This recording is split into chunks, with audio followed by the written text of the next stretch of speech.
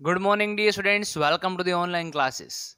Dear students, today we are going to start exercise 6.3 first and second question. Dear students, please read the question very carefully. In the following figure, in the adjoining figure, side QP, QP and RQ of triangle PQR are produce to point S and D means इसको खींचा गया हुआ है। Q P को लंबा करके कहाँ तक एक्सटेंड किया है? एस तक। और क्यू आर को एक्सटेंड किया गया है टी तक। If S P R is 135 and P Q T PQT is 110. Find PRQ. Dear students, this angle जो ट्राइंगल के बाहर का होता है जिसे लाइन को एक्सटेंड करके बनाया जाता है उसे कहते हैं एक्सटीरियल एंगल उसे क्या कहते हैं? एक्सटीरियल एंगल ओके तो ये दोनों हमारे लिए एक्सटीरियल एंगल है. हमें फाइंड क्या करना है? P R Q P R Q means ये वाली एंगल हमें फाइंड करनी है। तो ये दोनों तो एक्सटीरियल है, ये भी आपके पास नहीं है, ये भी आपके पास नहीं है। अंदर के तीनों एंगल मिसिंग है, ठीक है? आपके पास जो दो एंगल है, वो एक्सटीरियल है। तो हम क्या करेंगे डी स्टूडेंट्स आप यहाँ पे 180 देख सकते हैं this is a straight line ठीक है? तो हम इस तरीके से लिखेंगे। 180 डिग्री इक्वल्स टू, एक तो हमारा ये exterior angle P Q T plus, जो हमारा इंटीरियल एंगल है पी क्यू आर, ठीक है? सो 180 डिग्री माइनस ये वाला एंगल यहाँ पे आ गया। 110 equals to P Q R so ये बन गया seventy degree P Q R okay चलो. इसका मीनिंग है कि ये वाला जो एंगल है, वो है सेवेंटी डिग्री ठीक है? ओके अभी देखो. आपको मैं दो मेथड यहाँ पे बताता हूँ. एक तो आपको पता होना चाहिए exterior angle equals to sum of two interior angles exterior angle जो है वो क्या होता है? सम मीन्स एडिशन किसका? दो इंटीरियल एंगल का एडिशन मीन्स एक एंगल ले लो ये वाला और दूसरा एंगल ये वाला. इन दोनों का एडिशन इतना होगा. डन ओके okay, ये पहली मेथड है डी स्टूडेंट्स सो हम लिखेंगे 135 degree means exterior angle equals to sum of interior angles P Q R plus P R Q so ये रहा 135 minus seventy equals to P R Q चलो 100 में से 70 गया तो 30 बचा। 35 तो पहले से ही था। ये बन गया 65 पी आर क्यू फिनिश इसका आंसर मिल गया हमें 65 अभी मैं आपको दूसरी मेथड बताने वाला था, ये परफेक्ट हो गया फिनिश ठीक है?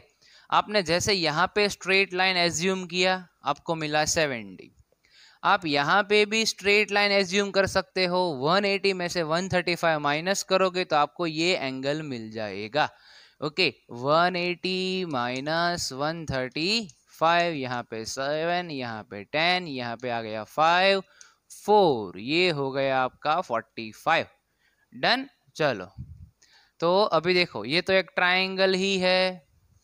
तीनों का एडिशन कितना होता है? 120 ये रहा फोर्टी फाइव ये रहा 70 सो so ये है 115 180 में से इसको माइनस कर दो। आपको आंसर मिल जाएगा 65 ये मेथड से भी आप जा सकते हैं, ठीक है? ये थियोरी बेस्ड मेथड मैंने आपको यहाँ पे सिखा दिया। ओके अभी हम आगे बढ़ते हैं। सेकेंड क्वेश्चन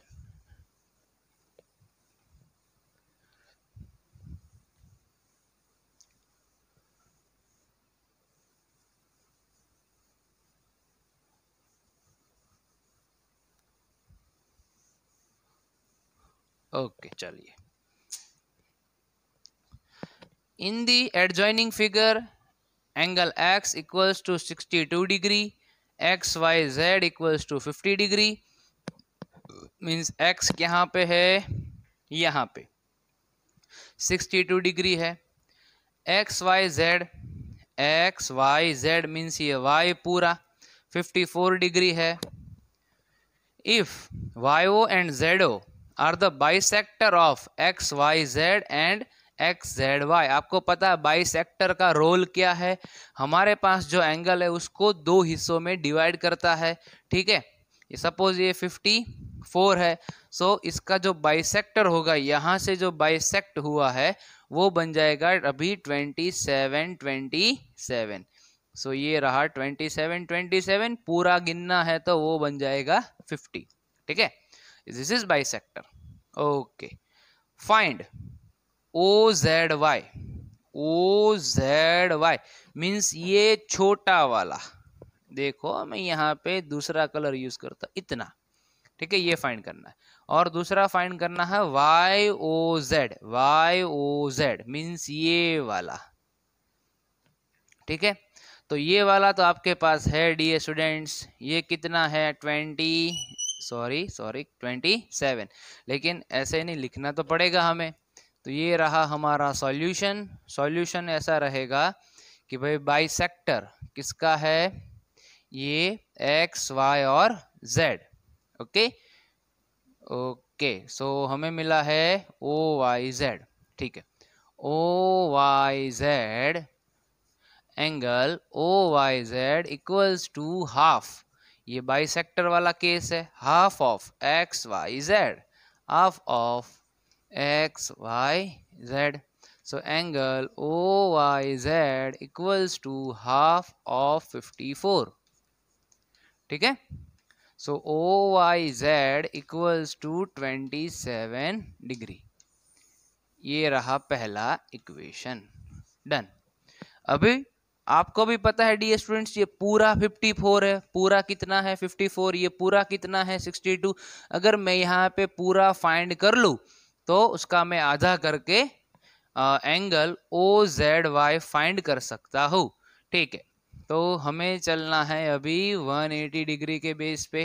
180 ये जो एंगल x है प्लस एंगल y कर देते हैं प्लस एंगल z शॉर्ट में।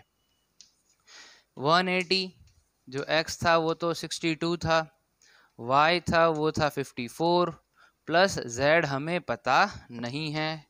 180 डिग्री चलो four plus two six five plus six eleven plus Z अभी one eighty minus one one six equals to major angle Z चलो, यहाँ पे टेन में से सिक्स जाएगा तो क्या बचेगा? फोर सेवन में से वन जाएगा तो क्या बचेगा?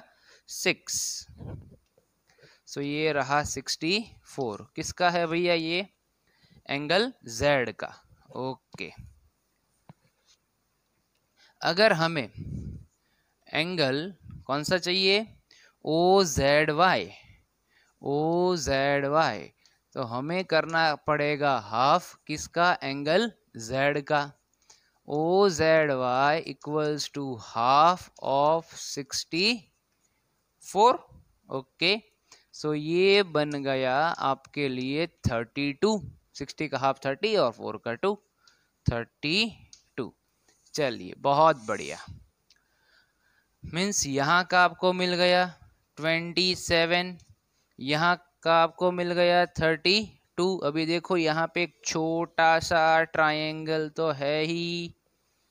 यस और नो मीन्स तीनों का एडिशन कितना होगा? 180 180 में से इन दोनों को माइनस कर देंगे तो ये वाला मिल जाएगा। ठीक है? चलो, मैं अभी इसको रब कर दू।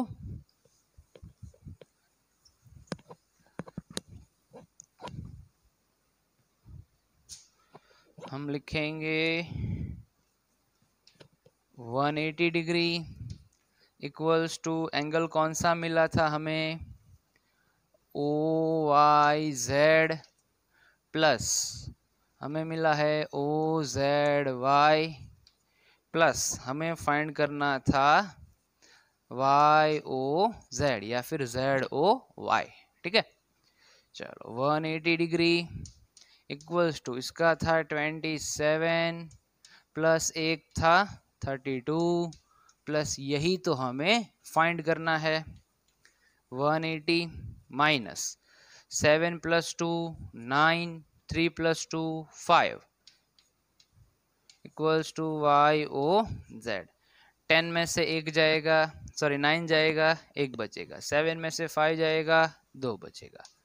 सो so, ये आंसर है